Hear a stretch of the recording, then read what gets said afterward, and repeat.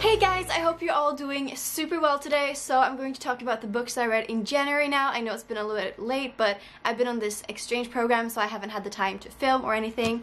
The first books that I read in the year is actually this trilogy right here. This is the first trilogy in the Grishaverse. Oh, it's the Shadow and Bone trilogy in the Grisha universe. So this is Shadow and Bone, Siege and Storm, and Ruin and Rising, all by Leigh Bardugo. I decided to read this in the beginning of the month because at the end of it, King of Scars was coming out, which is another duology in this series. To be honest, this was like a very typical YA, so you're following these two characters called Mal and Alina. Alina is the main character, and they basically both grown up in an orphanage, and they've basically been best friends their whole life. And then you follow them a little bit later when they have a job where they're going to cross the fold.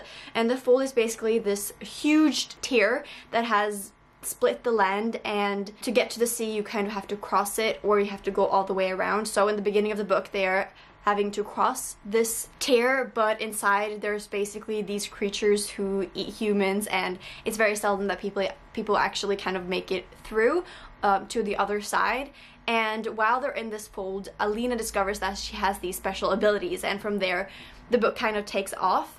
Um, so I I like the first one. I think I get the first and the second book three stars and then the last one four stars and I might have kind of given them higher rating than I should have because I think they accomplished what they were trying to do, but generally they were just like a little bit too typical young adult fantasy for me.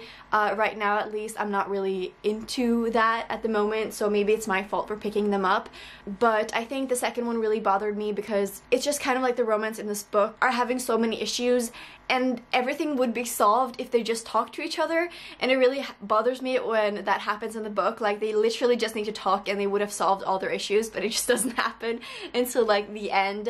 Uh, I really like the twist at the end, and that's why I gave this one four stars and the last chapter in this book was absolutely amazing. I cried so much and I usually cry when I read but this one was like so emotional. Um, my mom was sleeping over at my house at the time and I read it to her and I could barely like I could barely make it through because I was crying while I was reading like the last chapter, actually last page, but it was just like the perfect ending and someone told me that the main character doesn't end up with the love interest that they would have wanted it to end up with and I was really scared that she wasn't gonna end up with the person that she should end up with, but she did. So I don't know, like, whoever the freak was who said that they wanted her to end up with someone else, like, that is so weird.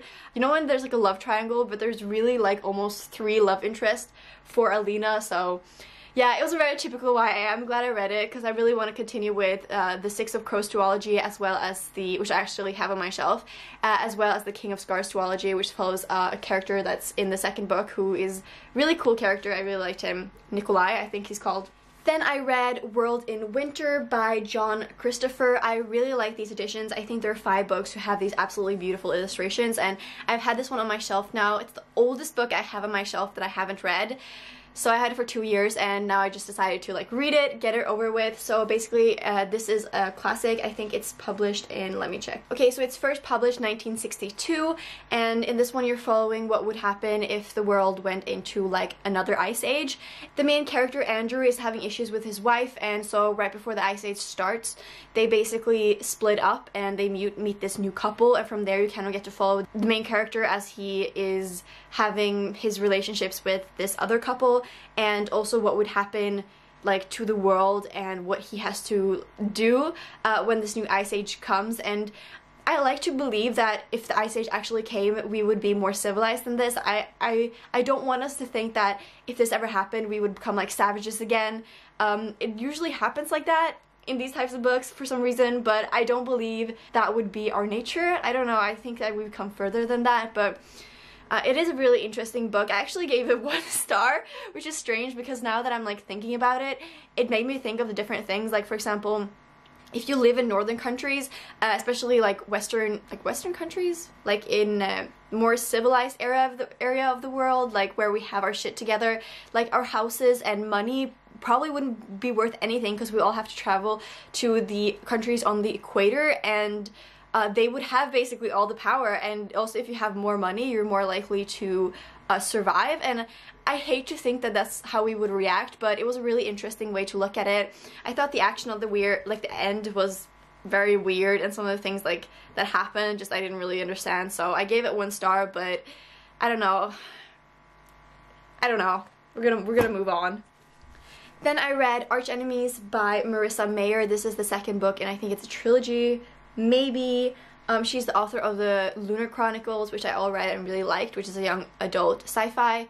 And this is a young adult kind of sci-fi. It's like a futuristic sci-fi uh, where there are these people who have superpowers and they're basically the anarchists which at some point um, gave prodigies which are the people with superpower freedom because they were very suppressed in society when they started becoming public and then there's these people called the renegades which is the name of the first book who basically tried to build a government and restore the power and to the people and fight the anarchist. And you're following I want to say Noah but I don't think you Nova.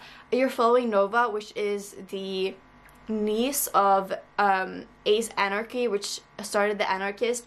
And you're also following the child of of the leaders of the renegades Adrian. And they both have alternate I want to say alternate personalities but like alternate superheroes and they're both trying to like fight the other and trying to uh, infiltrate the other gang if that makes sense.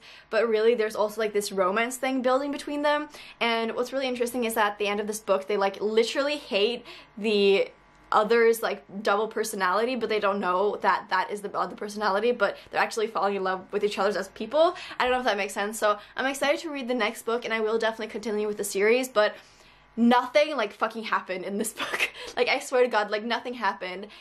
Like I don't know, like it was just kind of like a middle book syndrome type of book like like uh, yeah, nothing happened. Literally, it was like 500 pages of 500 pages of nothing, uh, which was just so like blah. Like, and the main character, she just doesn't get it done. Like she is trying to like infiltrate them, but I feel like only something happened in the last 50 pages. Like what was she doing here? Like I don't know. I literally don't remember what the first part of the book was about. Next, I read The Last Wish by Andrei Sapkowski. I hope I'm pronouncing that right. This is the first book in the Witcher series. I think this is like multiple series. I know the first one is three books, and this is the first one. Uh, I think you're supposed to read this series before you read the other series, even though I think the other one is chronologically earlier. I don't know, I think it's because of this is publication order. So in this one you're following this witcher called Geralt and a, a witcher is basically one that kills magical uh, creatures and he's hired in different parts of the world Rivia to basically assassinate creatures, animals, and yeah, for money. And it is kind of strange because it's basically loads of short stories. And I've never read like a fantasy that is written in short stories. I mean, I think it's really interesting and I'm definitely going to continue with the series, but I did have a little bit of a difficult time getting into it because there was always like new characters and some of the old ones would like pop up from the first um short story and then in like the fourth one and so I didn't really remember all the characters, but I think if I read the whole trilogy, then maybe I would get into it. So I'm definitely going to continue with this. But it was like a little bit of a difficult to read, and this is also such a well-loved fantasy and a great fantasy writer. So I don't know, I felt kind of like cross that I didn't love it as much as I expected. I actually gave this book two stars, but I'm still going to continue because I think that um, understanding the whole world would just be very satisfying. So that's that. Uh, okay, so the last two books I read were The Well of Ascension and The Hero of Ages, which are the two last book in the first era trilogy of Mistborn. Uh, I love this series and I love absolutely Brandon Sanderson. I think his books are amazing, but this was directed to a little bit of a younger audience. It's not like young adult because the fantasy element is still very advanced, but the even the fantasy element is more explained in these books than they are in like the Stormlight archives. In the Stormlight archives, you kind of have to like interpret things for yourself, or you have to kind of like think and put the pieces together. But in this book, there are like very explaining stuff when they are revealed, so that makes it seem like it's for like a little bit of a younger audience. Following this main character called Vin, and Vin was basically grown up as like a street urchin, and she's taken in by this thieving crew, and the main man main leader there called Kel, who is a Mistborn, and the whole world uh, is based on that people consume metals and then they give them different powers.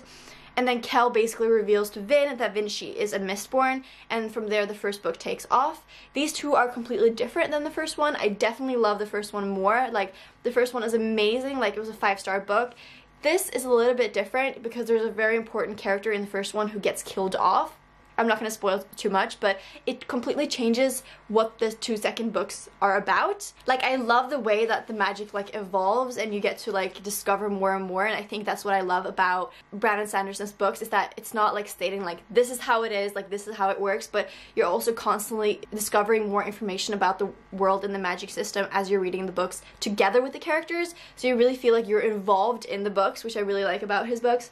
I think I gave the second one four stars and, the, third one five stars and I don't know I feel like I should have given them maybe both four stars.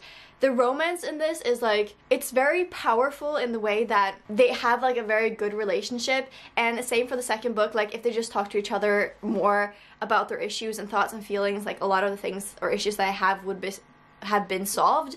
Uh, but I guess that's if for like every relationship. I don't know. Uh, so the romance in this like I'm not a huge fan of it. Everyone seems to worship them so much but like I'm I don't know, it's like kind of like yeah, they're good together, like they're soulmates, but it's like it's like a functioning relationship. And maybe that's that's like what's wrong with it. Like i'm always used to relationships where there's like so many issues but there's a character in this uh i don't know how to say sayed sized say i want to say sized but um he is like amazing. He's like one of my favorite character by uh brandon sanderson. I think my favorite char character by brandon sanderson uh, is either Kaladin from the stormlight archives or i want to say lightbearer from the warbreaker series.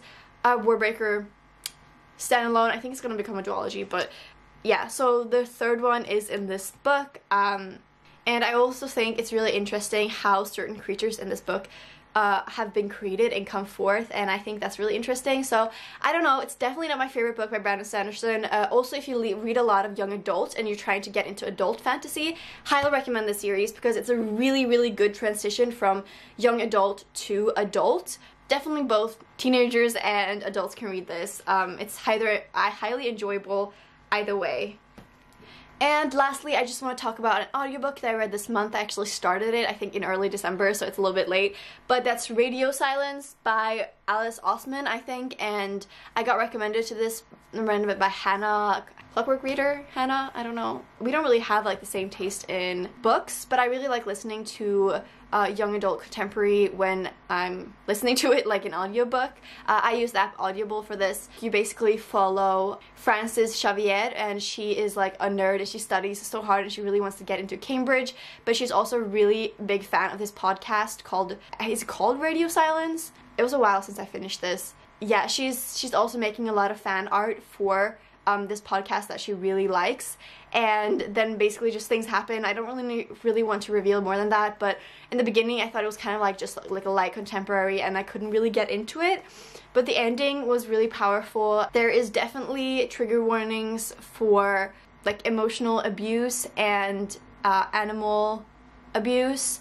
So I just want to say that, but I actually really like this book. I think I gave it four stars. And if you really like young adult contemporary, then I would recommend it. So those are all the books that I read in January. I hope you guys enjoyed. Comment below uh, what books you read in January and I uh, go a friend and follow me on Goodreads if you want to. Then we can talk about books together. Like, is there anything greater? Uh, so I hope you guys all have a really brilliant day and I'll see you guys soon.